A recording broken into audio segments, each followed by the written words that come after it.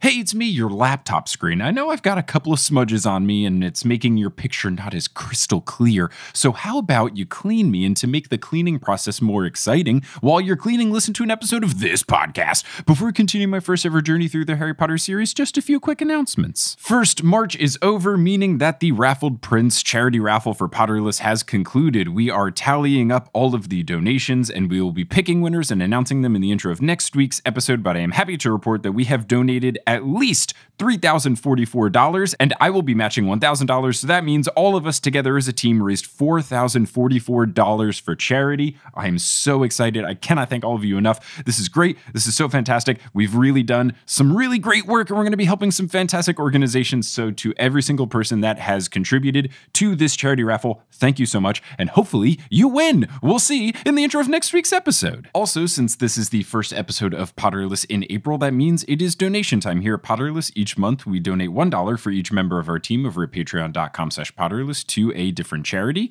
And at the time of recording, we have 723 patrons, meaning that we'll be donating $723 to the Asian American Advocacy Fund. What has happened to the Asian American community in recent weeks has just been absolutely terrible and horrible, and it makes me so angry and sad and upset. Specifically, what happened in Georgia is absolutely unforgivable. So, this charity made sense because the Asian American Advocacy Fund is an organization that works in Georgia through a combination of policy advocacy at the local, state, and federal levels, and by supporting candidates that believe in their values, they are fighting to create a better Georgia for everyone. Georgia also recently passed a terribly restrictive voting rights bill, so it just felt like picking a Georgia based charity was the correct move here. If you want to learn more about this charity, you can go to AsianAmericanAdvocacyFund.org. And just in general, stand up to any anti Asian American Pacific Islander hate that you see. It is important that we all try to band together and help this community out. There has been far too many instances of anti Asian violence, at least happening here in the States, and I want to do anything that I can to help. Hopefully, you feel the same way, and hopefully, this donation will help the community in Georgia. And also, just a reminder that the Kickstarter for my podcast project, Modern Muckraker, is still live. It closes on April 30th. If you want to contribute to the Kickstarter, you can go to bit.ly slash modern muckraker, or you can learn more about the show at modernmuck.com. And we talked about that team over at patreon.com slash potterless. I'm going to give a shout out to the newest members of our team. So shout out to Kathleen, Kristen Watson, Ariana Robbins, Ingrid Nordset, and Dana. A pronunciation correction for Sam Sam Reby and Dana Morphine, who wanted to give a shout out to her partner Luke, who does smell. And a huge shout out to our newest producer level patron, Adriana Hernandez. Adriana joins the ranks of Vicky, Christine, Aaron, Clow, Marchismo, Juan, Rosemary, Maria, Lisa, Audra, Eleanor, Nikita, Rachel, Zachary, Alex, John, Noel, Claire, Rory, Veronica, Lotta, Noah, Tracy, Colleen, Jennifer, Justin, Jacob, Maya, Mark, Polly, Zena, Hardlin, Noelia, Nikki, Kine, Amanda, Kafir, Sarah, Marta, Maya, Floor, Georgia, Skyla, Edel, Professor Threat, Ellie, Michael, Kelly, Kerry, Connie, Jen, Nedry, Will, Marcos, Marique, Ashton, Brittany, Phelan, The Meadows Family, Ginny, Heather, Kevin, Jarl, Peta, Jan, and Callahan, Leah, Bella, Melanie, Becca, Rees, Adam, Joseph, Madison, Tonks, Sabrina, Sophia, Farzan, Melanie, Matt, Okamahime, Boni Pony, Kelsey, Ricky, Taylor, Megan, Riley, Laurel, Erica, Miranda, Kendra, Natanya, Yogan, Darcy, Sandra, Craig, Leor, Demi, Michelle, Henrique, Casey, Megan, Zot, Jack, Sophia, Dane, Robin, Chick, Mermaid, Daddykins, Gregory, Kawkaw, Nina, Ribbon, Brittany, Gavin, Jack, Serenity, Emily, Haley, Sabrina, Jenna, Laura, Gila, Eileen, Annette, Kirsten, Hufflepuff, Brett, Mary, Artemis, Trans People are People, Samantha, Nina, Tatiana, Taylor, Karis, Vomit Spiders, Tony, Joe, Punkfish, Wire Warrior, Catherine, Joe, Michael, Maya, Jasmine, Neely, Tate, Sam, Sam, Steamed Nuggets, and Can't I Potter, who never, when they're refilling their hand soap and dish soap dispensers in their home, mix up the hand soap and the dish soap so they've refilled their dish soap things with hand soap and vice versa,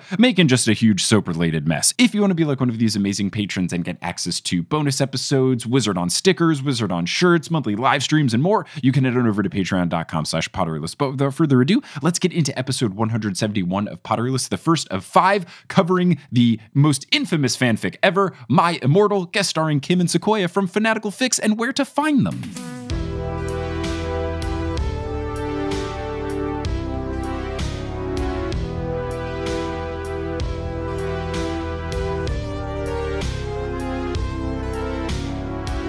Hello, Internet, and welcome back to another episode of Potterless, the tale of a 29 year old man who never read the Harry Potter series as a kid. It's the first time I had to say it. He's never read the Harry Potter Happy series as a recent kid. birthday, Mike. thank you, thank you so much. Wow, yeah, yeah. It's like a month and a half ago at the time we're recording. Uh, I never read the Harry Potter books as a kid. I read them as an adult. I watched the movies and stuff, and I've only read a couple fanfics, and it's almost always when I'm guesting on the podcast of our guests today. My name is Mike Schubert. I'm the host, but we are joined by what I would consider the two top names in fan fiction knowledge, Ooh. commentary, critiquing. It's Kim and Sequoia from Fanatical Fics Oh, and Where to Find that Them. makes me Kim sweaty. Sequoia, how is it going? Well, God. Kim's sweaty now. I'm nervous now. I think that maybe uh woo. We are very knowledgeable about a particularly niche part of fan fiction, I would say. Um, uh, we are so excited to be here doing this specific piece with you Yes. today, though. This has been a long time in uh, the three of us chatting and, and thinking and looking into the future about this, and it is finally here, and I am stoked. I'm very excited. As you mentioned, we've talked about doing this for a while because you two decided not to cover this on your podcast. So, right at mm-hmm. the top, what is the reasoning behind that? it really does not fit our format. Yeah, Okay, fair enough. that's the biggest part. It's long. If we tried to cover this in our regular format, we would be covering it for like half a year, and I can't handle that. It's like Picasso's blue period. It's like, oh, this was fanatical fixes my immortal period. And I mean, some of our listeners might like that, but I think my brains would ooze out of my ears if I tried to like read this and react to it live for more than 10 minutes.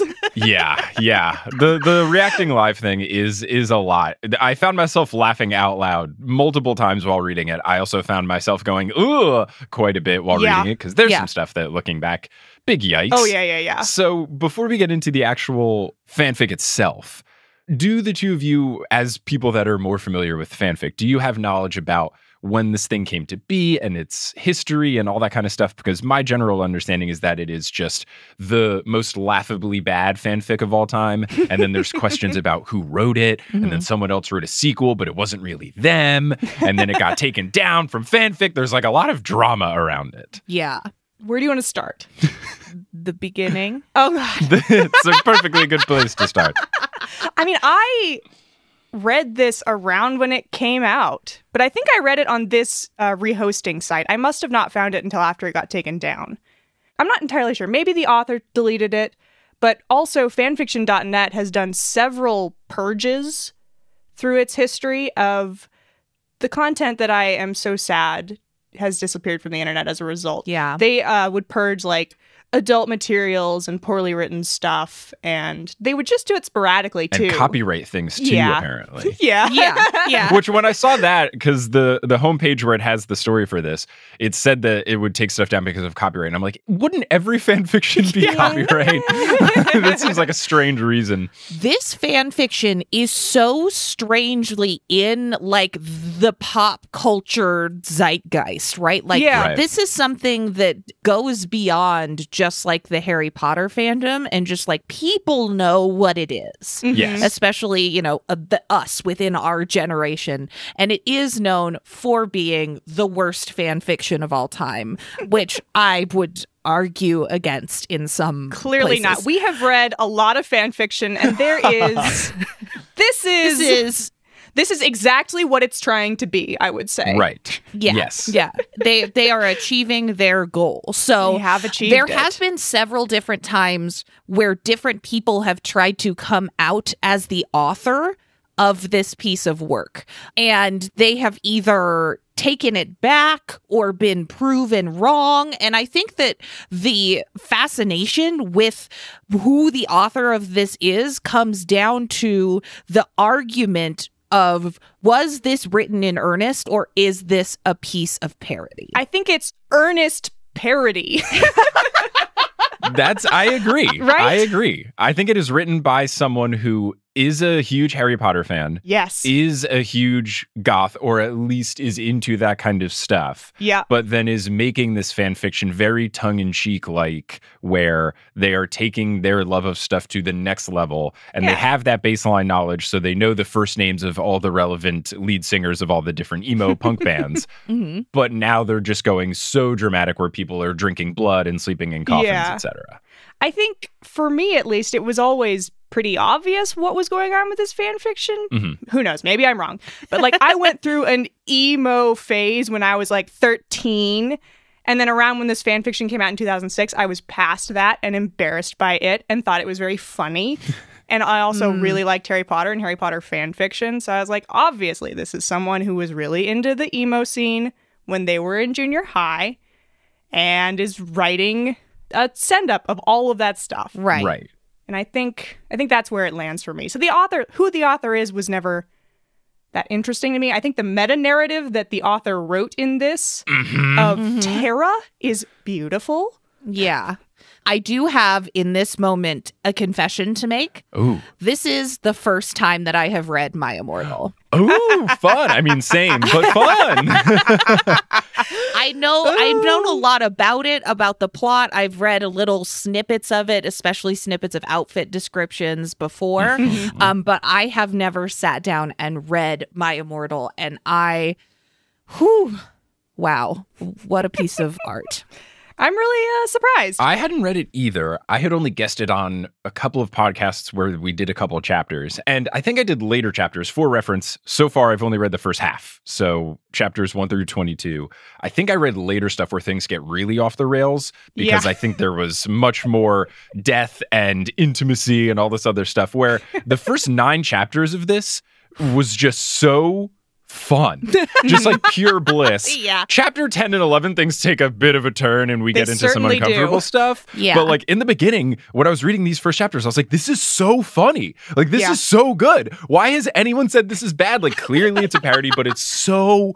I left out loud multiple times. Yeah. Yeah. So I think before we get into it, though, there's something we do need to address, which is that if you haven't read it and you do want to read it, be warned that there is some stuff throughout that is triggering. Keep in mind, this was written in 2006. Before we were recording, Kim brought up that the author of this most likely was trying to do dark, edgy humor in 2006, which, if anyone is familiar with people trying to make edgy humor back then, it's some rough stuff, mm. especially when you're getting into goth emo things. You can understandably see where some of this is going. There's some self harm stuff. And basically, in the story, these things that make you go yikes, for the most part, are so irrelevant to the plot and so quickly done that I think for the coverage, it makes more sense for us to just say at the top that throughout the story, there's a lot of yikes moments that basically accomplish nothing. So rather than bring up every single time it happens, we're just going to gloss over them because they do nothing for the plot Mhm. and only would make us feel uncomfortable and maybe have people feel triggered with some bad thoughts. So we're just going to not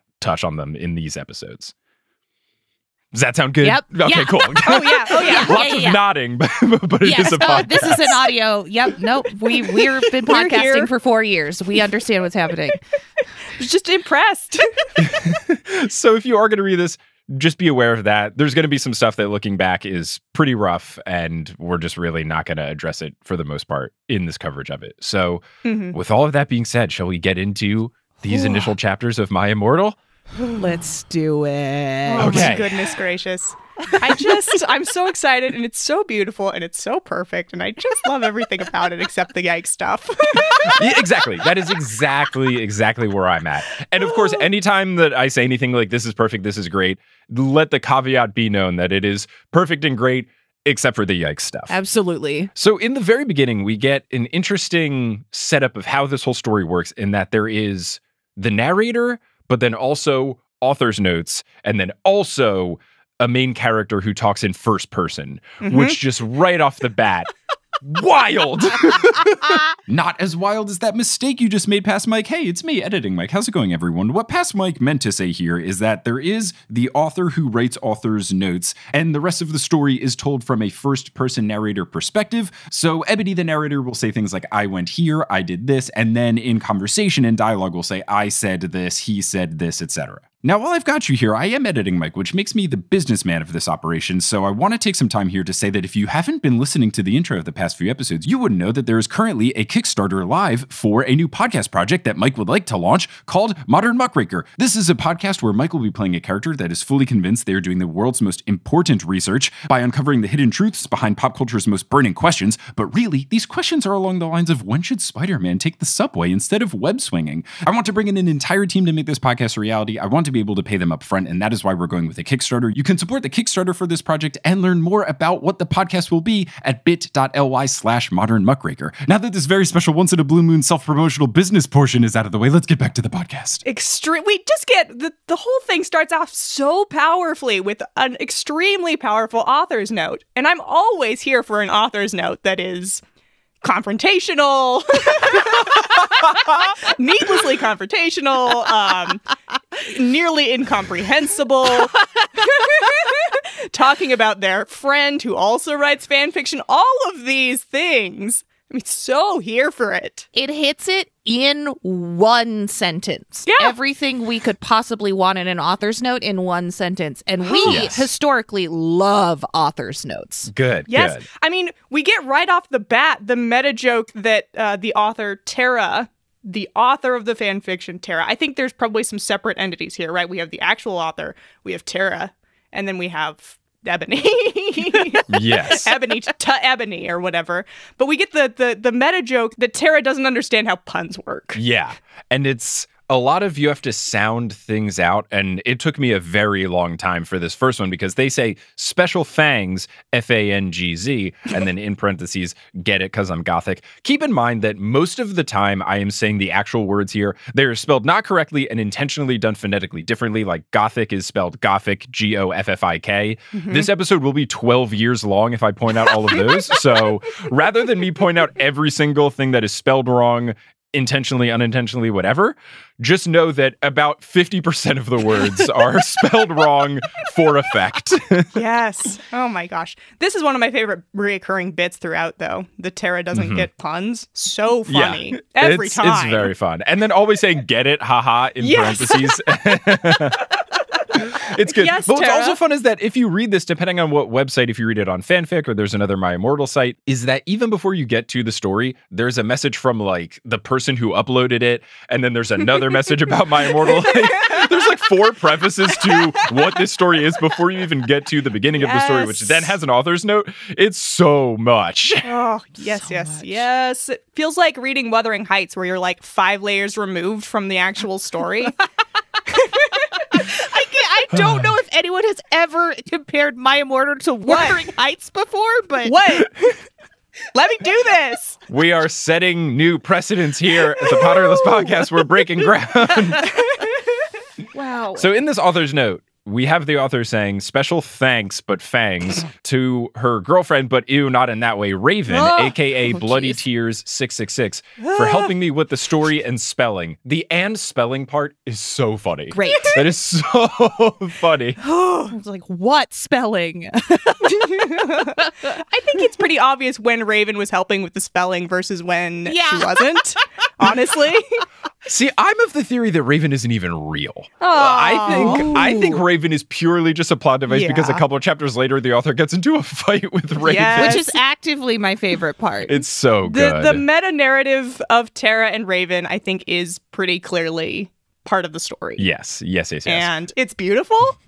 The other call out in this author's note is that the author says that Justin is the love of her depressing life. I don't know if Justin gets brought up again ever aside from this first author's note. No. But I think that's it. Is Justin a, an emo band member? Is Justin I don't think friend? so. I think it might be their friend, significant other, who's to say. But then mhm. the final line of this author's note, which will come throughout author's notes to come, is all caps that MCR rocks. My Chemical Romance rocks. Mm-hmm. Which, yeah, a lot of people rock. a lot, a lot of people a rock. lot of Well, people yeah. rock in this. So, so now we actually get into the story. so we learn that our narrator, the person telling this whole story, is Ebony Darkness, and yes, I did pronounce that with the apostrophe in between dark and ness. Got Very important. Ebony Darkness Dementia Raven Way. How did dementia sneak into the name here? Um, because it's gothic. Gothic. is, is it? I, I don't know a whole lot about dementia, nor do I know a whole lot about being gothic because I never went through a gothic phase. Is that just me? Just me here? I don't know if mental illnesses really are like, oh, how gothic. My grandpa has dementia. What a goth. Yeah, I have no idea. They probably just thought it sounded like a cool word. it is a cool word. What are you talking about? what what I think it could be is that maybe, and this is a very common thing where they try to say one word and then they say one that sounds similar and it's a completely different thing. So maybe they were going for like demented or dementor for Mhm. gothicness, but then they went with dementia, Dementia? which is if that's the intentional choice, hilarious. if they are saying that dementia is gothic, maybe less hilarious. Yeah. Still may be funny. yeah. but now we get into the first of many descriptions of hair, clothing, etc. And Ebony says that she has black hair with purple streaks and red tips, which man, I've never dyed my hair for more than just one of those spray temporary things that last until you wash your hair, but Mhm. Purple streaks and red tips sounds hard but also incredible. Yes. Ebony looks incredible All the time. the entire every time. throughout the entire mm-hmm. thing. she never stops looking great. Yeah. I do love that the author comes in right here at the top with what every reviewer always wants more character descriptions. Got to give the audience what they want. What does mm-hmm. the character look like? yes. The reviewers always want to know. She looks like Amy Lee. Yeah. Which the best is they say look like Amy Lee, and if you don't know who it is, you're not a true goth. And without Googling it, I was like, I bet this is the lead singer of Evanescence, just because this is called My Immortal, and that feels about right. So I did Google Amy Lee and confirmed, lead singer of Confirmed. Evanescence. So I'm a real goth. I'm not a prep guy. Yeah. We're all Yeah. good to go here. Yep. All goths here. The the constant MySpace energy that is throughout this entire Yes. fanfic is so strong. Oh, powerful. So, another interesting line from this initial narrator note quote, I am not related to Gerard Way. Oh he's the God. lead singer of My Chemical Romance, but I wish I was because he's a major fucking hottie. Now, there's two ways you can take this. There's so much to unpack there. I just a lot like, to unpack. the one way to take it is that she thinks Gerard is hot. Thus, if you're related to Gerard, you will look similar to Gerard. Thus, you will also be hot. Right. I think that is mm-hmm. giving too much credit and too much benefit of the doubt here. Yes. Correct. Because the weirder take is I wish my brother was someone I think is super hot. Correct. Way weird. Correct. That's definitely the joke there, and I love and it. it's it's so it's so per it just a lot of these jokes just like perfectly don't work. And Uh-huh. that's what makes them work. Yes.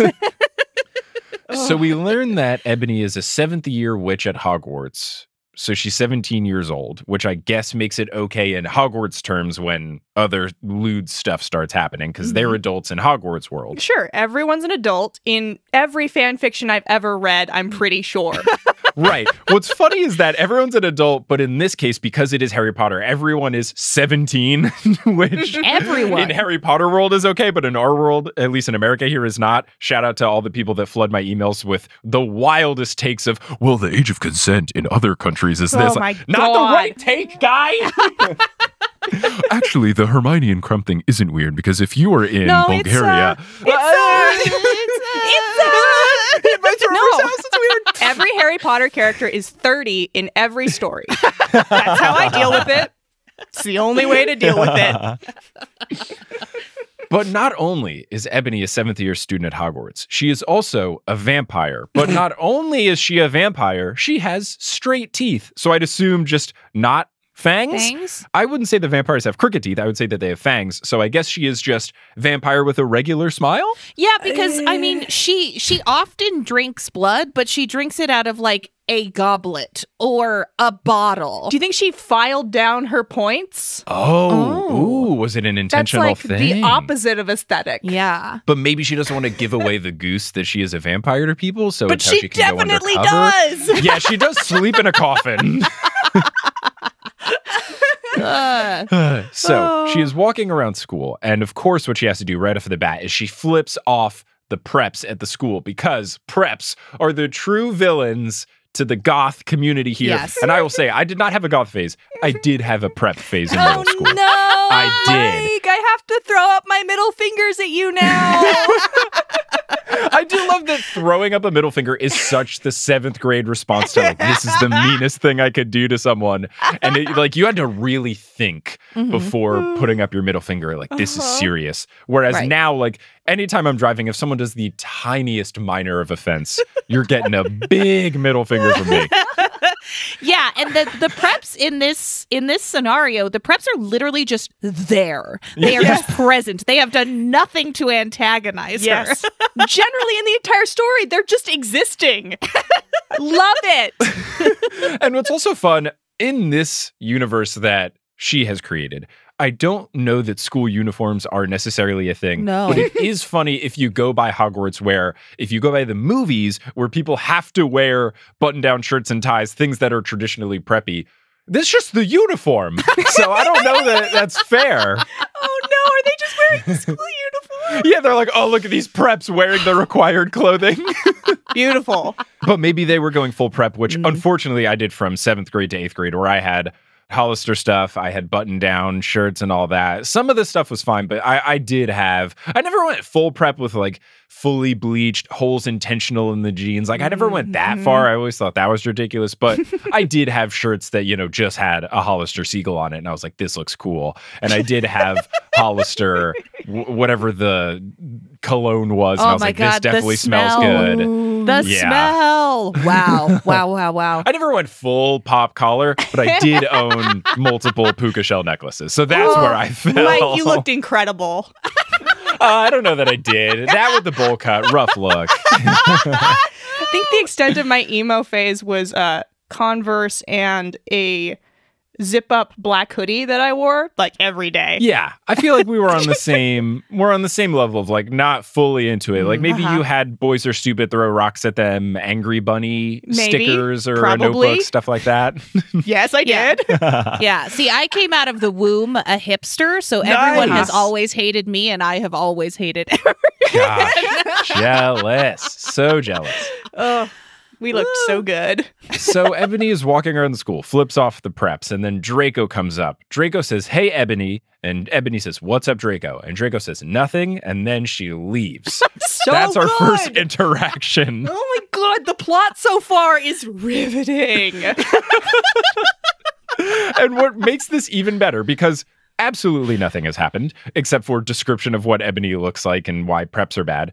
There's an author's note immediately at the end of chapter one that says, Hey, is this good? yes. Here's the thing about this though. If they had left it at that, this would be unremarkable because it would be the same as thousands of other fan fictions on fanfiction.net. I have read basically this so many times. yeah, this first chapter is Yes. is prevalent.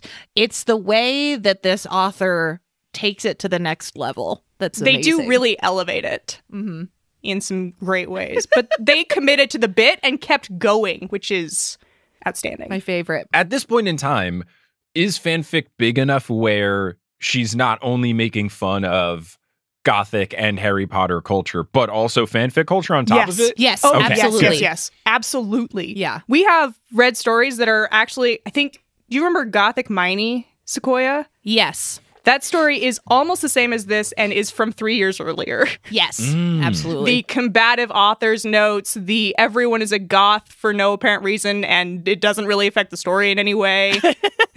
this kind of stuff is super prevalent on the website. Okay, good, good. So that's the end of chapter one. Now we're into chapter two. Uh, past Mike, before we get into chapter two, let's take a little bit of a break for a segment that we need in order to keep the show afloat, and that is Wingardium Adridosa.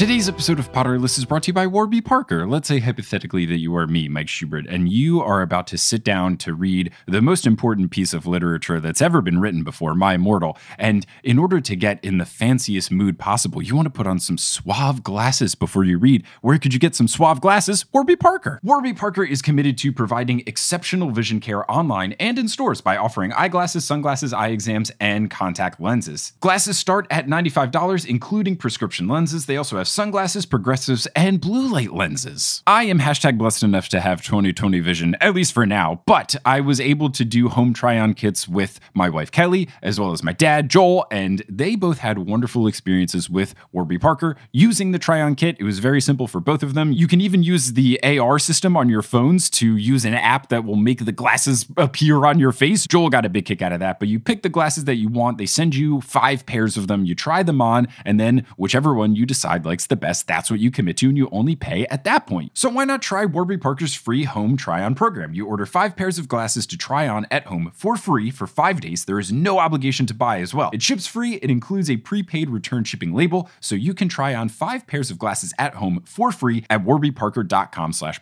So go to warbyparker.com slash get set up with a try on kit, try them on, pick the one you like, and get some sweet glasses in your life today. And now you'll hear words from a few sponsors who make it feasible for me to be a full time podcaster. Some of these ads will be read by me, others of them won't. The ones that aren't are inserted locally, so if you live internationally, don't be surprised if you hear an ad in your country's native language. And once those ads are complete, we'll get back to this episode of Potterless.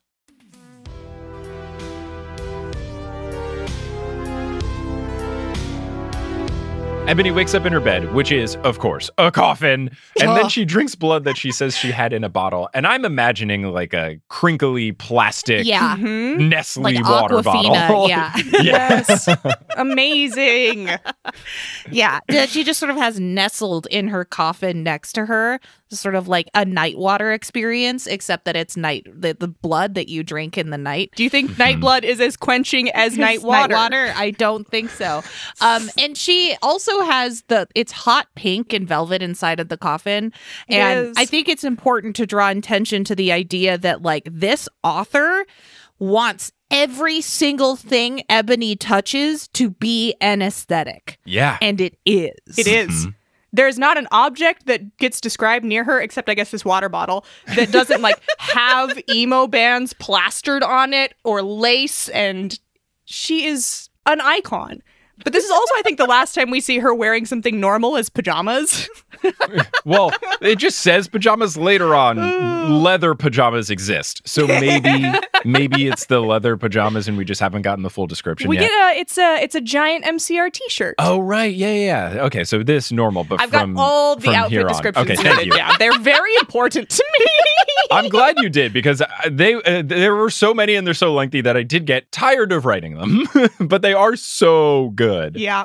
I can't imagine how many like hot topic tabs this author must have had open Mm, to figure mm. out what Ebony looks like. Yeah, for sure. I also want to make the meme where it's the big book and then the smaller book where it says the thing and then the thing without whatever. Mhm. It would be very fun if it was My Immortal and then the smaller book is My Immortal without clothing descriptions. So many.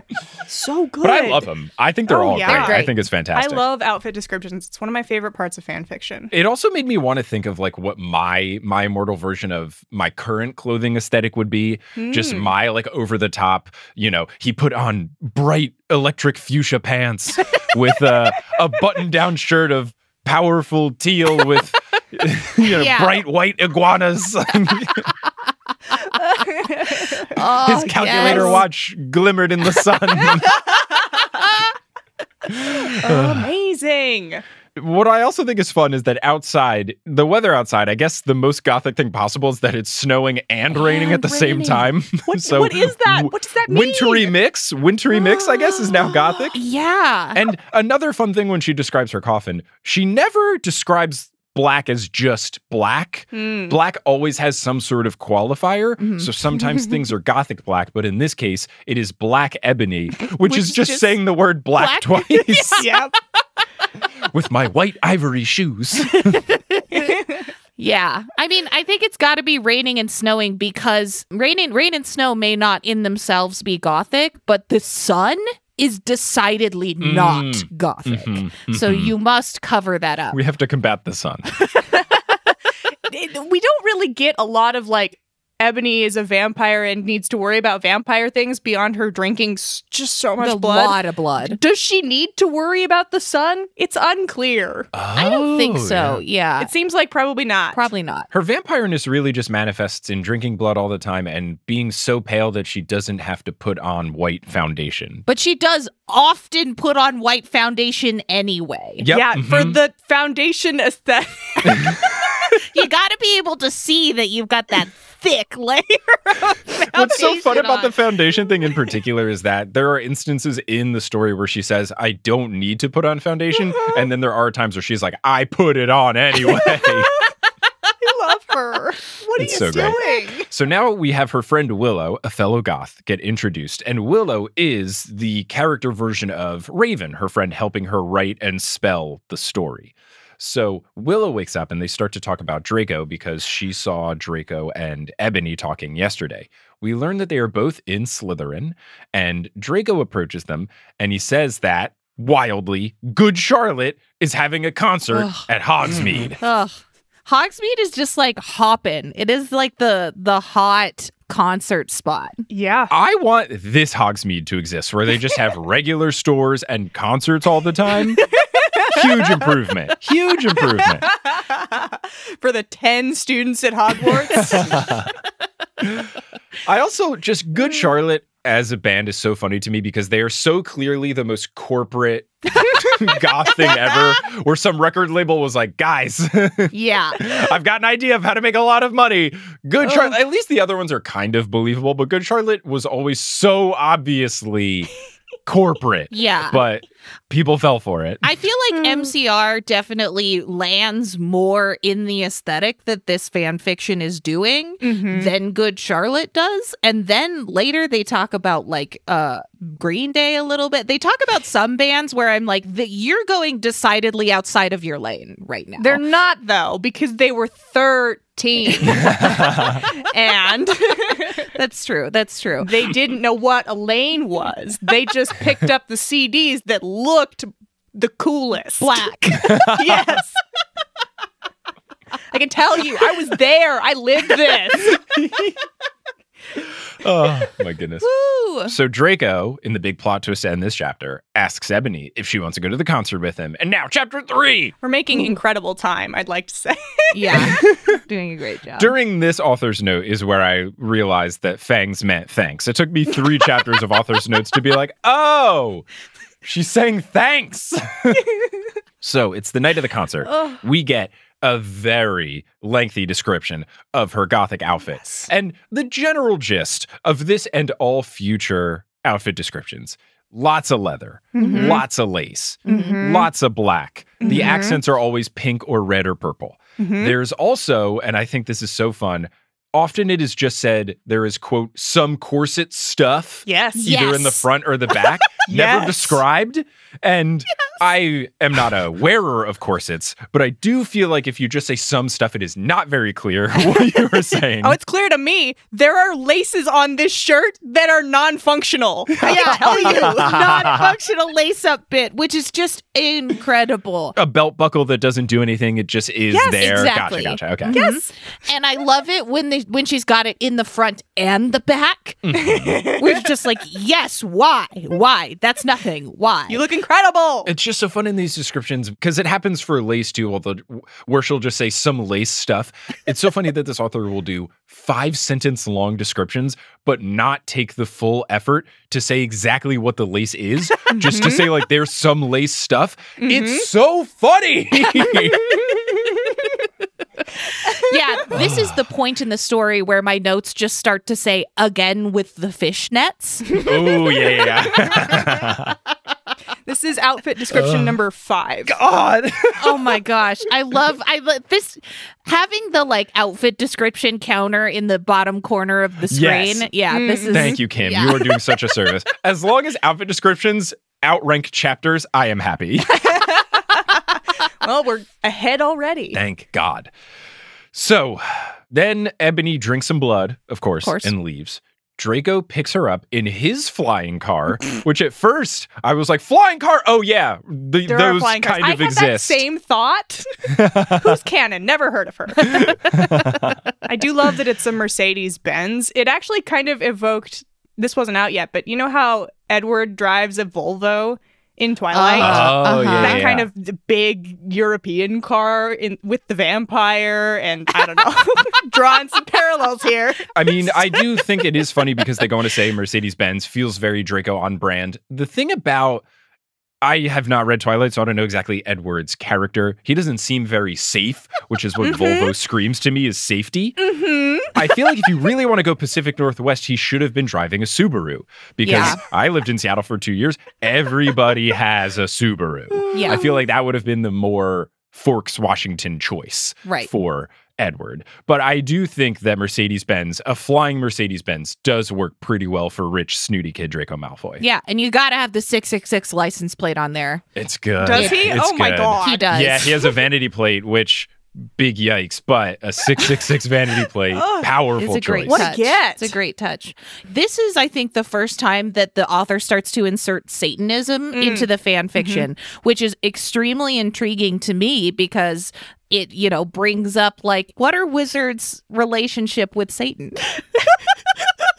yeah, never gets addressed, obviously. And the other thing is, it is so clear that this author, intentionally for the purposes of the story, Satanism is just an aesthetic. Yes. Satanism just means I am also a goth and I draw pentagrams sometimes. Yes. Yeah. It has nothing to do with actual theology. Yep. Yeah. It's just uh, they're doing a really good job sent doing a send up of mall goth. and I suspect they probably were a mall goth, which is how they do such a good job. Lots of references to Hot Topic, but none to Spencer's gifts, which did seem surprising to me. Maybe their mall didn't have one. Yeah. Mm, maybe that was it. I, maybe it was regional. So they are going to the concert, and here's what I think is a ridiculous addition. Simple Plan is the opening act. Yeah. Just like as a side note. Just very, very much swept under the rug. As a side note, in Draco's outfit description. What? yeah, I love Simple Plan. They are fantastic. The What's New Scooby Doo theme song slaps so, So hard. fucking hard. and I can't believe that they are the opening act, and I can't believe that this is not a bigger deal. so then proving that Ebony slash the narrator slash the author is definitely not a cop, they quote both smoke cigarettes and drugs. And drugs. Some drugs. They smoked some drugs. Hello, would you like to do some drugs? This is like a. It just feels like a dare video to me. Yes. Don't smoke drugs, kids. Mid 2000s, just saying the word drugs was funny. Yeah. drugs. oh man. So they arrive at the concert and they start moshing to Good Charlotte. And now I am furious because did they miss Simple Plan? Yeah. Did they show up late? They showed up Come late. on! They were too busy smoking drugs. Yeah. Ah, yes, of course, of course. So at the concert, Ebony out loud says that Joel looks so hot, and this makes Draco very sad. But she says, Don't worry, I like Draco more than you. And besides, Joel is dating Hilary Duff, and I hate that bitch, Hilary oh Duff. Oh my Her words, not mine. Now, I do know a little bit about this relationship. Isn't Joel like, wasn't he like in his 30s, and wasn't Hilary Duff like 18? she was 16 and he was 24. I looked it up. What My the guy, absolute come fuck? on! Yeah. Ugh. yeah, yeah, yeah, yeah. Ah, gross, gross, gross, Huge gross, yikes. gross, gross, gross. Awful stuff. Awful, Yeah. awful, awful stuff. This is back when Hilary Duff was really big. Yeah, yeah. And I was a huge Hilary Duff fan. I loved Mm. Hilary Let Duff. the rain fall down. So yeah. yesterday, Mhm. Cinderella story. Uh, yes, we have a great Cinderella story reference later in the story. Gotta love it. Gotta love that. I think it's so funny that the author makes a point to hate Hilary Duff and hate on her several times. It's so, s this is where it is so clear that this person either is or was into a goth phase because that's the kind of pull that you have to know. Like you can pretend to know about goth stuff and say you like this band and you can look up the lead singers, but to be so specific that you know that I am supposed to hate Hilary Duff contractually, I'm legally obligated to hate Hilary Duff as a goth. Mhm. God, it's so good. Oh. Amazing. Ugh. So the concert ends. They drink beer, regular beer. Smoke drugs, drink beers. Uh, and then they get photos and autographs with the band. Apparently, they had backstage passes. They just have such a good time, and I'm really happy for them. they just seem like they're having fun, and I'm glad that they are having a good time. yeah. So then they head back to Hogwarts, but not really because Draco drives the car into the Forbidden Forest instead. Dun, dun, dun. And then we get into chapter four. What is also so great about this is that every chapter ends on a cliffhanger. Yes. Every Mhm. single one. Got yes. it. It's so good. And the way they write the cliffhangers, they'll like they have the first half of whatever sentence, and then they'll do a huge amount of ellipses, and then we'll get a cliffhanger ending. Every time. It's so great. And they're beautiful. And then, it, depending on what website you read it on, sometimes the page breaks are made out of tildes. So it's just squiggle, Mhm. squiggle, squiggle, squiggle all the way, which I really appreciate. Gotta love it. So, chapter four, we now have an author's note, and this is the beginning of the theme of Tara clapping back at her critics yes. because people are now finding this fanfic and they're saying mean things about it. And at one point, this also is a start of the theme of Ebony spelling her name incorrectly. Mhm. And what we learn here, and this is so fun because some of these jokes you have to read the sentence and then think, what? And then realize, oh, you, you have to next level piece it together and it's worth it every time. Yeah, it helps to like read it out loud sometimes to figure out what word they're trying to say. I had to do that. And thankfully, my wife Kelly was playing video games with headphones in, so she couldn't hear me saying out loud. Because ever since the fangs thing I didn't get, I had to keep mouthing things out loud to try to get the jokes. so I didn't look like a ridiculous human being sounding out things such as, quote, Ebony's name is all caps Ennaby and not Mary Sue, S U, okay? And that's when I realized, oh, people are saying that Ebony is a Mary Sue Mhm. but Tara, intentionally or not, doesn't get what they're saying. They Yes. think they're just messing up the name. She's even gone as far as to spell Ebony's name wrong in the clarification here. And I just think it's so funny. Later on, it makes sense, but early on, if people were actually criticizing Ebony for this, or if this is just Tara making up people giving criticisms, I would not necessarily call Ebony a Mary Sue because she doesn't do anything in the first three chapters except wake up, drink blood, and go to a concert. it's not like she's someone that you're going to say, oh my goodness, no way. Good at basketball, good at singing in the musical, has great hair. Troy Bolton, what? Like, there's no Mary Sue trends here yet. But later on with the second Mary Sue call out, it's so good and so worth it. yeah. More specifically, later with the Marie Sue call out. Oh, if yeah, we- yeah, Marie. Sue. Yeah. I think I would guess that they were almost certainly being flooded with tens of reviews being like, take this down, delete this, you can't spell, these are all the things that are wrong with your story. Oh, your character's such a self insert Mary Sue. yeah. Websites can be so toxic. I can only assume that the feedback was filled with people that just did not get the joke. Yes. Just a collective group of whoosh people. A collective group of 12 year olds, we should clarify, 12 year olds who did not get that this was a joke and were trying to be like critics. Mm. The comment sections of fanfiction.net are a wild place. yeah. I don't go there. Every once in a while, I get curious if the author's like getting mad enough at the reviews. I'll go look and I'll be like, oh God, oh, why? Why would you be so mean? No flames. Have we found the one place that is worse than the YouTube comment section on Earth? I think they're probably maybe On par? On par. Yeah, Yeah, on par, okay. yeah. I don't know. I don't know what it is about people providing free content that makes other people so absolutely furious. Yeah. we are all well aware of that. I've gotten some uh, angry messages anytime an episode was late before I went full time Oh. with podcasting.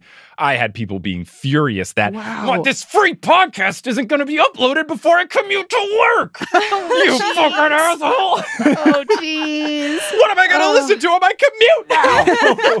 My own thoughts? Never. There's a really great band, uh, Good Charlotte, uh, MCR. You could put those on. Oh my goodness, great. Yeah, Gosh. no, the review Ah. section on ff.net is horrible. So they're in the Forbidden Forest. They get out of the car. And here's just a, a direct quote I stared into his gothic red eyes, and now in parentheses, he was wearing color contacts, which revealed so much depressing sorrow and evilness.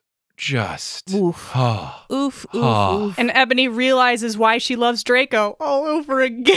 oh my god. Fuck.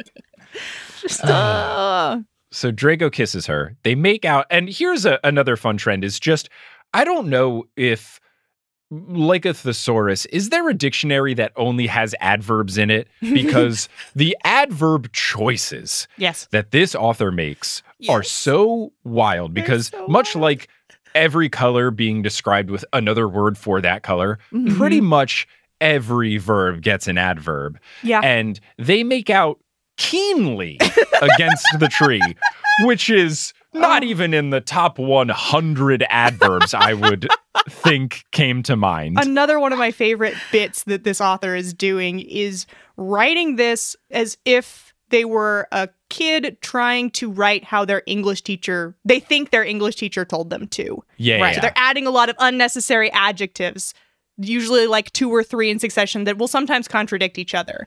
so many adverbs. Just like clear abuse of the thesaurus. I think that's such a funny bit.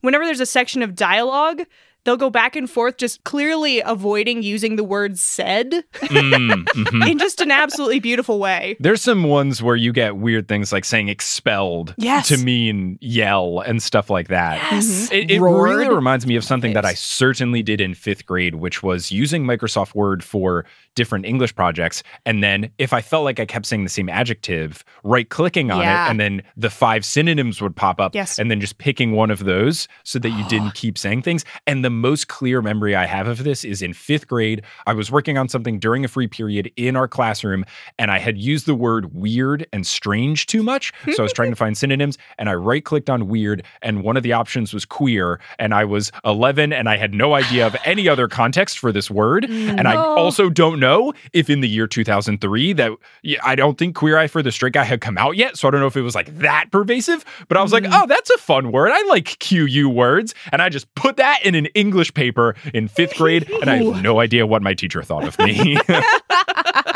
They probably thought, oh, Mike found the thesaurus button. I really think that's probably what they did. but that is the energy that is in this writing. Yes. It is Absolutely. huge right click on Microsoft Word synonym selection. Love it. Clippies up here saying, "Hey, it looks like you're trying to write a fanfic." Energy.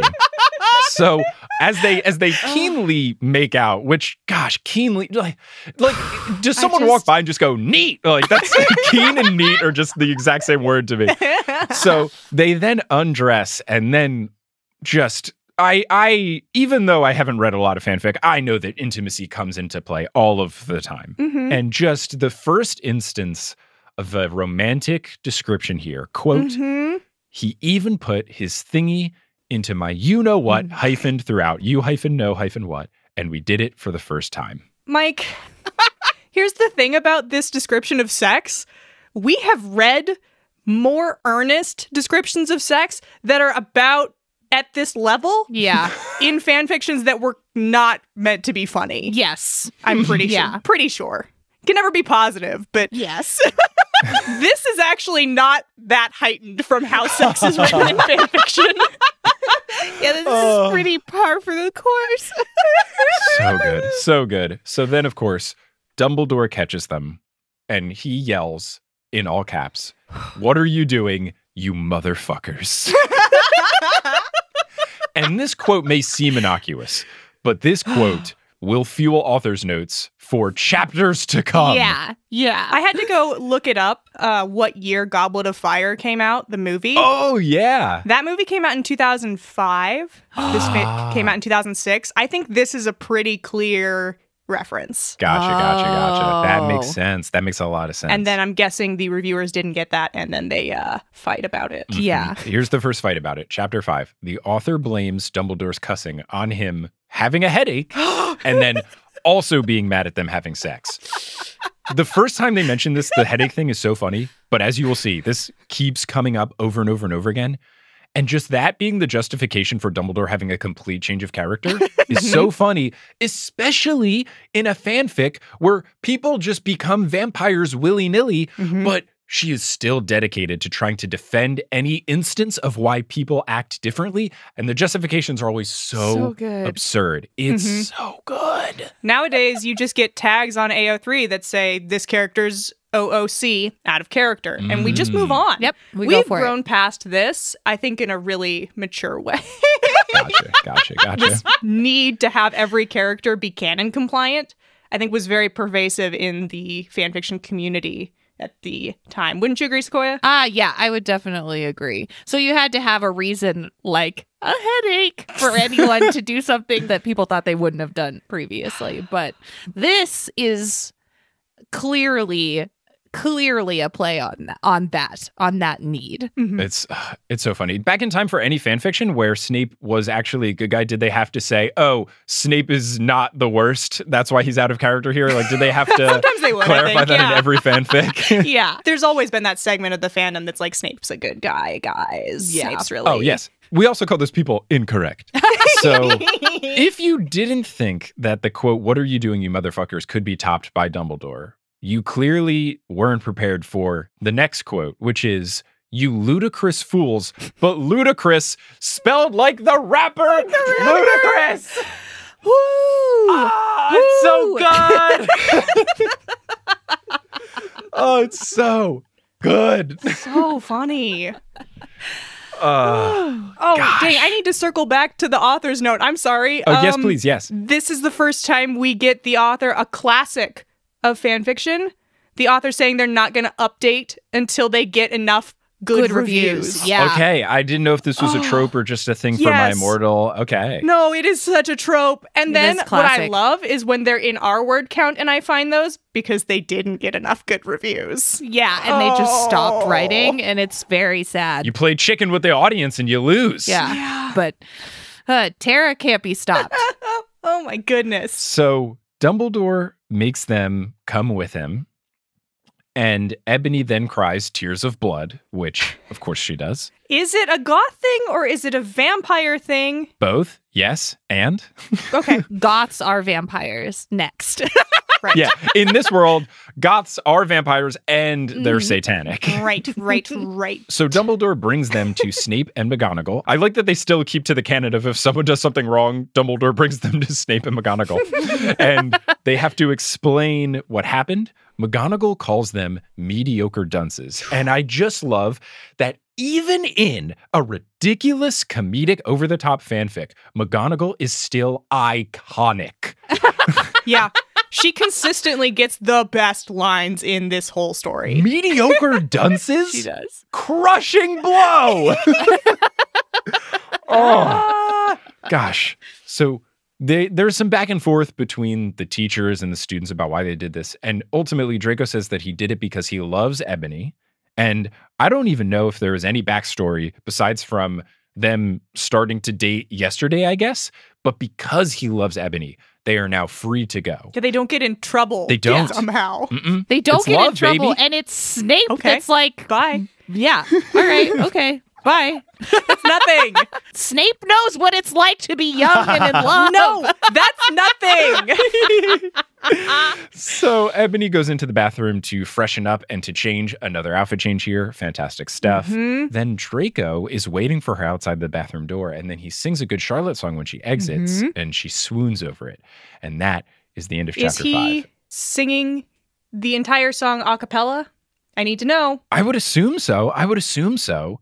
The only other option would be, you know, 2006, you've got iPod touches, you've got phones that play music out of them. The only thing is like maybe he's playing and singing along to it out of the built-in oh. terrible speakers from his small device. That would also be really good. Either way, it's perfect. Mm-hmm.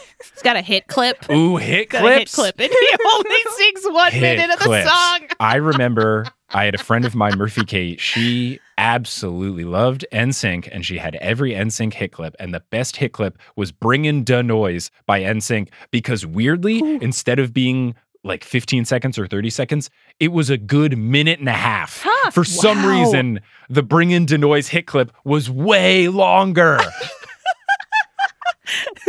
This is a hit clip conspiracy that we're unearthing right now. it was really good. And especially because the chorus of Bringin' Da Noise is so good. So with the hit clip, it would just cut immediately to Bringin' Da Noise, Bring Down the House. Uh, so that's going to be the end of this Ugh. first episode covering My Immortal. I think we'll have better pace throughout, where this is not going to be an eight episode run. I told you. Oh, I warned you all. Every sentence is beautiful. I love them. Oh, but Kim and Sequoia, thank you so much for joining. If people want to find you doing stuff, where can they do so? If you want to find both of us crying and laughing about Harry Potter fan fiction, you can find us on Fanatical Fics and where to find them wherever pods are cast. If you want some cool Sequoia stuff, though, You can find my other podcast, But Make It Scary, where we take romantic films and turn them into horror movies. Whoa. Also, anywhere pods are cast. hey Mike, thanks so much for having us on. Thank you. I'm so glad that we could is finally make this happen. Hopefully, your listenership appreciates that. Even if you're not covering it on your show now, they will get your voices discussing it. There's no one else that I could talk about it with. So this is just. It's just it's like the ultimate crossover of our two podcasts. We found it and it makes me so happy, especially because I just did 7 episodes about the Fantastic Beasts movie franchise. So this is just the ultimate palate cleanser. We've had two months of me yelling at J.K. Rowling for being bad at everything. And now I'm just yelling into the sky about how perfect this fan fiction is, aside from the yikes moments, obviously. Yeah. But Aside from the- gosh, I'm so glad. This just, I'm so happy. I'm so happy again. Shout out to the person on the subreddit that made the thread, Is the joy of Potterless gone? Uh, and writing about how I should shut down the podcast. Oh my god! Because the joy is back, baby. My immortal has fixed it. Look, the fandom is what gives me life. yes, yes. Mhm. And that's what this is. This is just, it's such a perfect parody. It's so perfectly tongue in cheek. And I'm so glad we're going to be talking about this for the foreseeable future. But again, thank you both so much for joining. Listeners, thank you for listening. And as they say in the wizarding world of Harry Potter, before they put on their all leather, all lace, all corset, everything, wizard on.